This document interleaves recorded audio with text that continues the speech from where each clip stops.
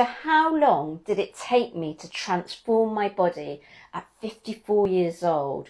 Well, I started at 49 years old and I spent two and a half years of failure because I wasn't getting the right nutrition and the right exercise program in. And I don't want you to make that mistake. So, although I was doing strength training, I was doing too much cardio and cardio will ruin your strength training results. My calories were too low at 1300 calories, and that actually damages your metabolism and it's really hard to put on muscle. I was intermittent fasting, so I was doing strength training on an empty stomach and not eating for five hours after strength training. So when I started to put things right, that's when I started seeing results. So, what did I do? Well, I prioritized strength training and I made sure that I was getting progressive overload by lifting heavy, doing two upper body days and two lower body days. I cut down on the cardio and just focused on high intensity interval training,